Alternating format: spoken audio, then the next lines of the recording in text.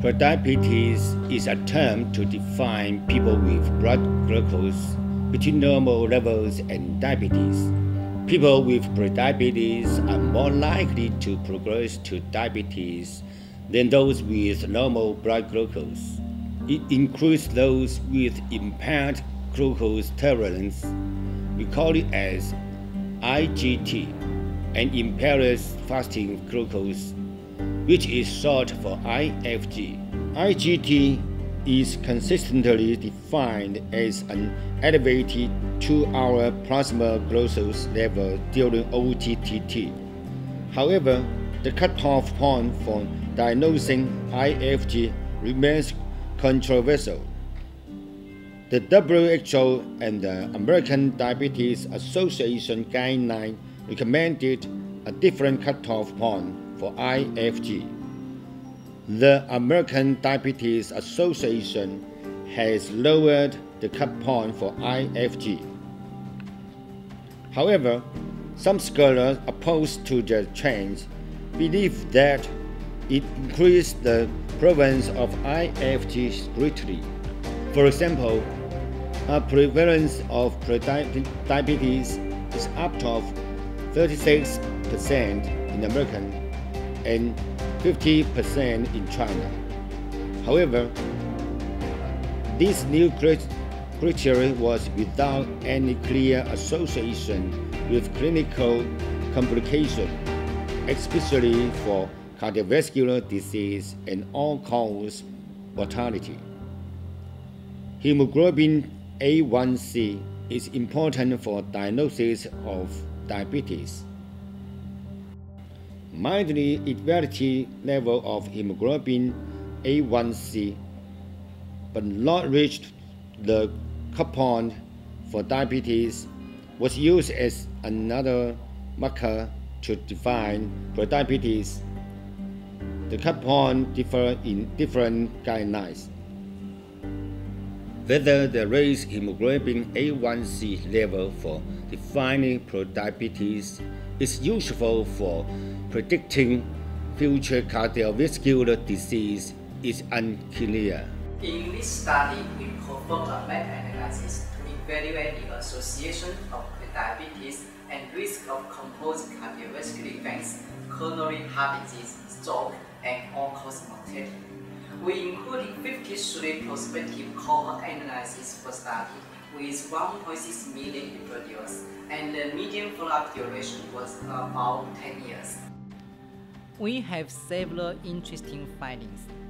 First, we saw that IGT significantly increased the risk of composite cardiovascular events by 30%, coronary heart disease by 20%, and stroke by 20% too, all-cause mortality by 32%.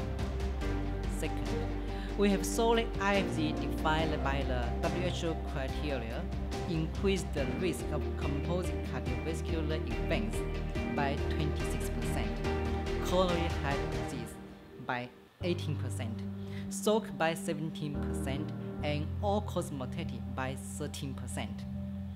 Third, we also find that IFG defined by the ADA guidelines also increased the risk of composite cardiovascular events by 13%, coronary heart disease by 10%, stroke by 6%, and all-cause mortality by 13% too.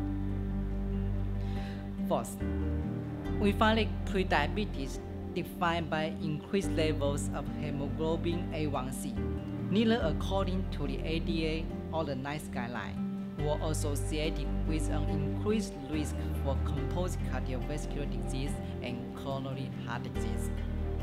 However, it was not for the risk of stroke and all-cause mortality. Well, to sum up, we find that prediabetes defined as IGT, IFG, or raised hemoglobin A1C was associated with an increased risk for cardiovascular disease.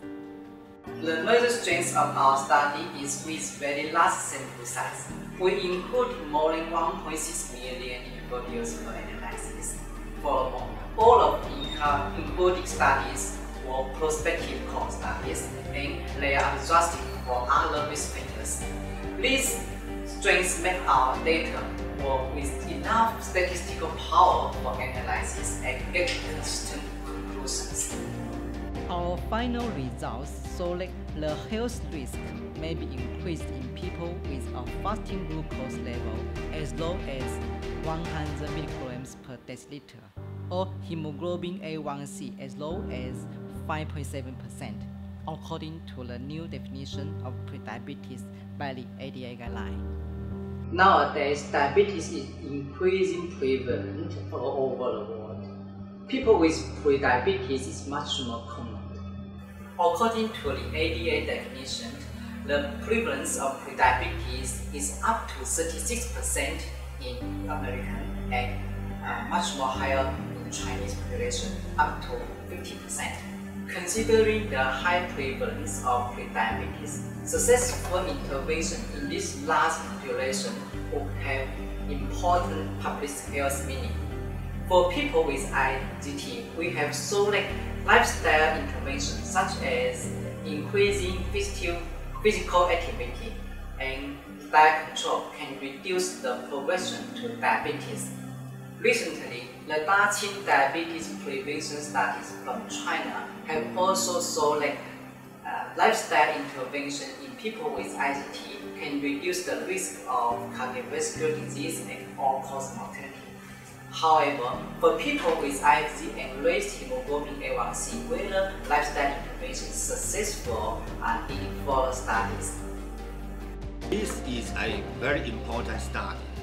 We found that diabetes is associated with an increased risk for composite cardiovascular events, CHD, stroke, and all-cause mortality. Lifestyle modification should be recommended for people with prediabetes. High-risk subpopulation with prediabetes should be selected for drug treatment trials.